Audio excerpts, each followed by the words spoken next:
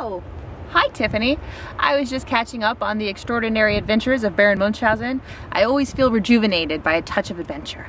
As you know, I will be doing a panel at PAX about language in gaming. One of our main arguments is that language enriches the gaming process by taking advantage of the game's and the narratives that they create. And, and that's what I love most about gaming is that it, you can take this idea that somebody had and turn it into just this amazing experience that whisks you away. When telling stories, in my experience, I find that a modicum of snuff is most efficacious. There are other games that might not be so obvious but still have a profound story to tell. For example, Polterfass. And you take on the role of the barmaiden and all your opponents are betting on whether or not you're gonna be able to fill your order or not based on the way you roll your barrels. Oh my god, when I was the barmaid, man, I couldn't fill one order. With that in mind, I am going to share something with you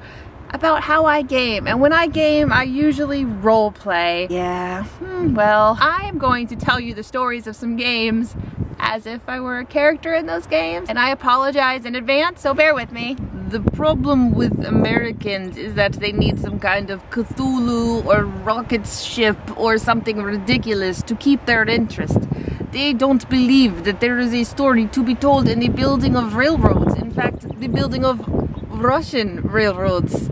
And the story here is about hard work and dedication and how the railroad builds you as you make a stronger, more powerful line and connect cities throughout Russia.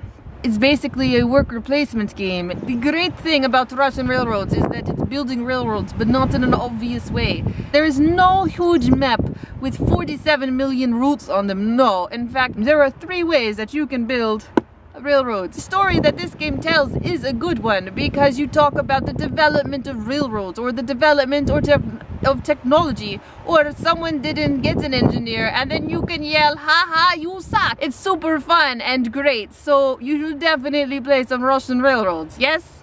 Alright, here's what's gonna happen. We are gonna get off this spaceship. We have been floating in space for days. I don't know. The point is, there are aliens creeping about trying to kill us all. In fact, what we need to do is execute, escape from the aliens in outer space now. We need to get the hell off this boat. We got aliens creeping in the night. We got people trying to kill us, give away our position. That's no good, rookie. No good. And we all have our own little notepad telling us where we want to go. And we got to keep that secret. And we got to keep that safe because we don't want nobody knowing where we're going. I don't like two things. I don't like space and I don't like aliens. I want to be back on the ground in 0800 hours. Are you coming with me? Oh, Tiffany, I wish I could tell you that all board games are fun and have happy stories to tell, but that is not the case. In fact, some games are rooted in history, sad history, fiery history.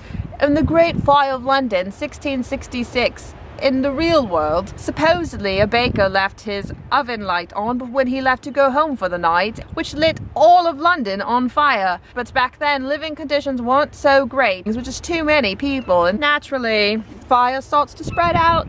And what you do in the game then is you try to extinguish the fire, but also keep the fire away from your homes. Because see, I'm a wealthy landowner, you are a wealthy landowner, trying to save our homes from the fire. And based on the way wind blows, which comes up on cards, you can make the fire go a different direction. It's always going to want to eat houses. I could just burn them all down if I wanted to. and then of course you can use firemen to put out fires because that's their job. And this game tells a story and it ends friendships. Have some tea and go to bed. Oh, hello. Don't be shy. Come in. Let me tell your fortune. You're here for the Divinare contest, for the contest of mediums. Seers from all around have gathered to determine who is most in tune with their sixth sense, who knows most accurately what's in their opponent's hands. I know who's gonna win. Do you? Well, now that I'm done, you know, acting, I can be back to my normal weird self. I'm not saying that everybody has to play the games this way, and if you don't play them this way, I hope that you at least take the time to retell them in such a way that is engrossing and makes people want to play the game. Um, I love really dry Euros and I love just pushing things around the board. That's fine. But when I am talking to people about that game later, I'm not like, hey, I push these cubes around the board. No, I'm like, oh my gosh, I took my colonials up into the northeast and we just completely demolished the British and it's just a better story to tell. If you guys are going to PAX, I will be in the cuttlefish room at 6 o'clock on Friday and Tiffany, I hope you have fun in Europe and everybody else, you should come say hi or play a game if you happen to be at PAX and I'll see you guys later.